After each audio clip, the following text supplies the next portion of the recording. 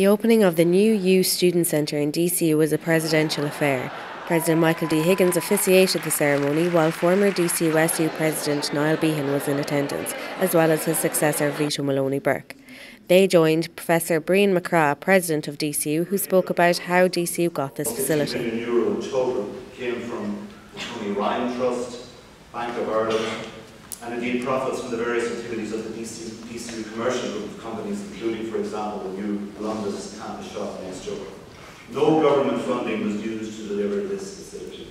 All self-funded, and as I say, a testament to generosity.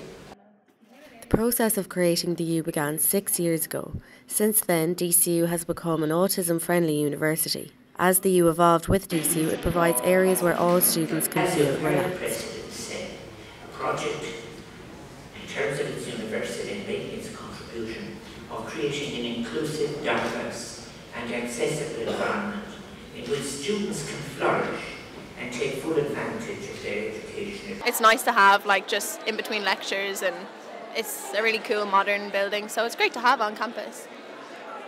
Yeah, it's really handy. I remember last year in between lectures there was nowhere really to go apart from the library or the canteen. So to have an actual place where you can sit down and just relax, it's really good. I mean, it looks nice, but it's really too early to form an opinion on how it's going to be in the future. Was it worth the wait? Mm, yeah, yeah, I'd say so. But actually, I, I think the name is very good, the U. I think the facilities are very good. I, in my speech, I mentioned in particular the fact that it's dealing with mental health, dealing with cultural appreciation, dealing with diversity.